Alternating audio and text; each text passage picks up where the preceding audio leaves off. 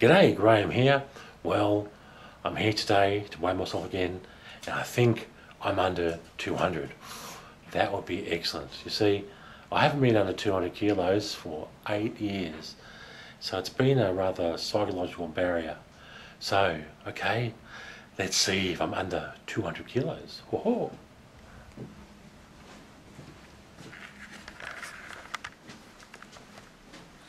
All right. Let's see. Yeah, come on. Look at that. 198 kilos. Yay, yay, woohoo! Wow, my friends, isn't that amazing?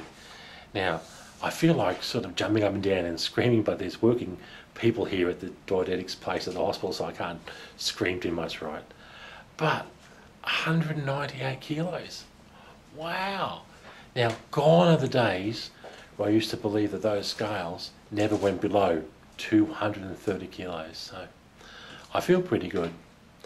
Now, my friends, the highest weight I've ever been is 263 kilos. And here's the photograph of what I used to look like. Wow, isn't that amazing? I look like Jabba the Hutt. Anyway, my friends, how did I get so fat? Well, after my father died, I couldn't handle the emotions of grief. And, you know, in my generation, big boys didn't cry. So I ate because I couldn't cry. Anyway, so I had an addiction to food and a abnormal sort of love affair with food, which a lot of people have. It's a bit like this clip.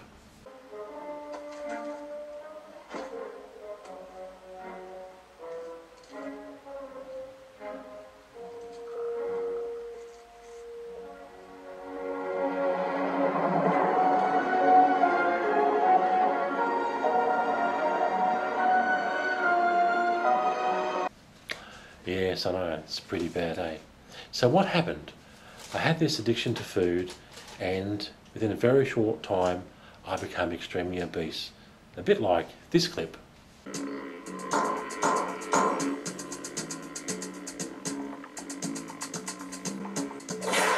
Wow, isn't that amazing?